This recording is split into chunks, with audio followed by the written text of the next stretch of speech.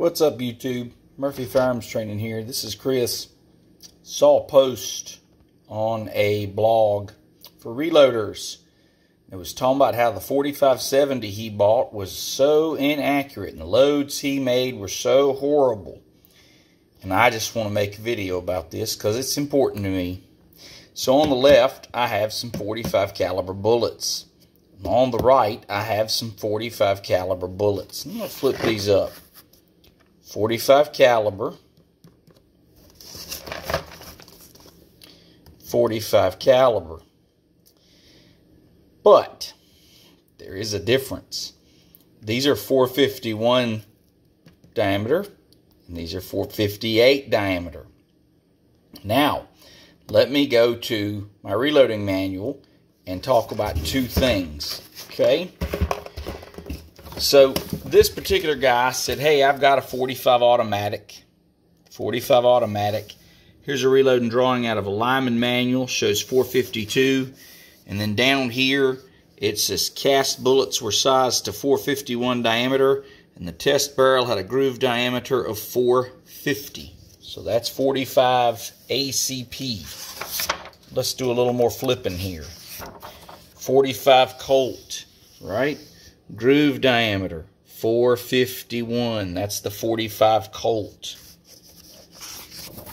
Let's do one more. The 454 Casull, right? 451, groove diameter, 451.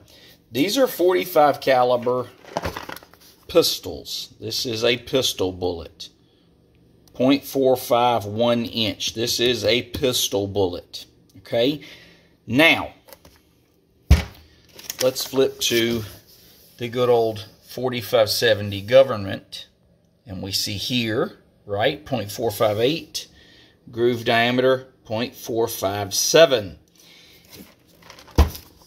This is a 45 caliber rifle bullet. Now do be careful because the 450 Bushmaster actually has a groove diameter of 451 and it uses pistol bullets.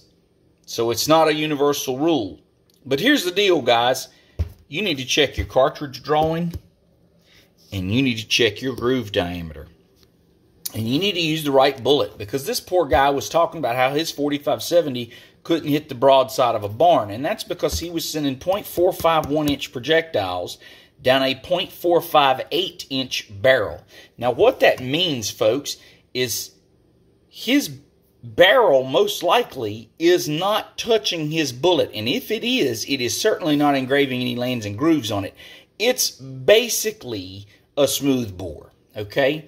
Uh, he's basically created a modern day musket, a lever action musket for all intensive purposes, okay? So anyway, that's the first thing I want to mention here is pistol, 0.451. And again, the 450 Bushmaster does use this size bullet, and it is a rifle. And then the typical 45 cal rifle is .458.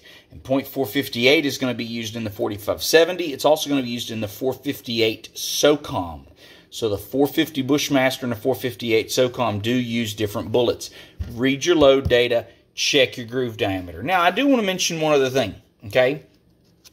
Here is the 4570, and I want you to look at these velocities, okay? 1290 up through about 1600 here, okay? And this is for, let's take a, well, let's, let's take, uh, Let's pick one that I know we'll find. Let's pick around 400 grains. So it's going to push a 400 grain bullet in that 1300 ballpark, okay? Now, I'm going to flip a few pages, and I'm going to go to the 458 Win Mag. The 458 Win Mag. And there's a 405 grain bullet, and it's pushing it 2,000 feet per second. Okay? Follow me here? So, what's the difference? Big difference. Okay? Let's take another set of uh, numbers here. Let's take the 45 Colt. 250 grain jacketed hollow point. Look at these velocities. Look at these velocities. Now let's take the 454 Casull and let's find 250 grain jacketed hollow point. Let's look at these velocities. When you are purchasing bullets, for an example, and I'll use these, these Hornady 458 rifle bullets, if you go to Hornady's website, you look at the specifications, these are designed for the 4570. That means they're designed to be driven at 4570 velocities. If you push these to 458 Win Mag, or God forbid 460 um, Weatherby Magnum, 460 Weatherby Magnum velocities, this bullet is going to come apart like a grenade when it hits something. It's not going to penetrate. It's not going to do well. Okay.